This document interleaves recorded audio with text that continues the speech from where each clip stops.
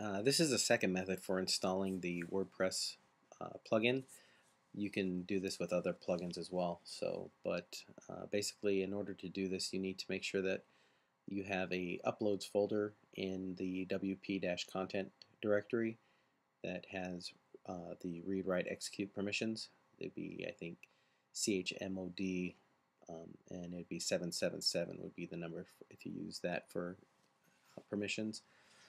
Otherwise, uh, you can do it to the entire WP-content directory, give it those permissions, but I don't suggest that. I would just do it to the uploads directory.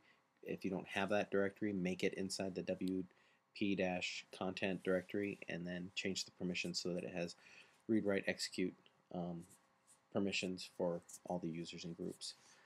Uh, from that point, you can download the zip file from the plugin directory on wordpress.org. And once you have it downloaded to your machine, I put mine in the downloads folder.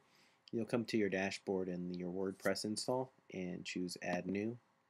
From there, you can go to the Upload in the top right, uh, top left there.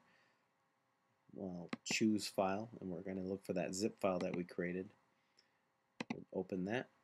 Now that might be wherever you stored it, your desktop, your download folder, wherever that is. But once you find it and locate it, you'll choose that file. You'll choose Install Now. It should bring you to a point here to log in for your FTP information. You'll click Proceed once you enter that in, and it should tell you that it's installed successfully. Uh, from that point, you can activate the plugin. And once it's activated, you'll notice here that this is the initial install, so we still need to set it up. Um, it's really quick to do that. We're just going to enter in the cookie expiration. We're going to do this once every minute, and we're going to save the save it so it shows the credits. Once those changes are made, it's been installed. So uh, if you don't have uh, the ability to change permissions, um, the only other way that I know you could do that is you could unzip the directory or the plugin on your computer, and then you should have a five-star rating directory that is that gets unzipped, you'd want to make sure you upload that directory to your wp-content forward slash plugins directory and it's basically going to be a directory inside of the plugins directory.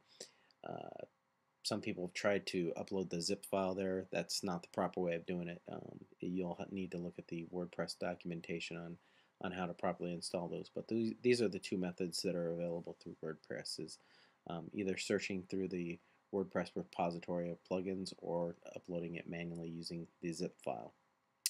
Thank you.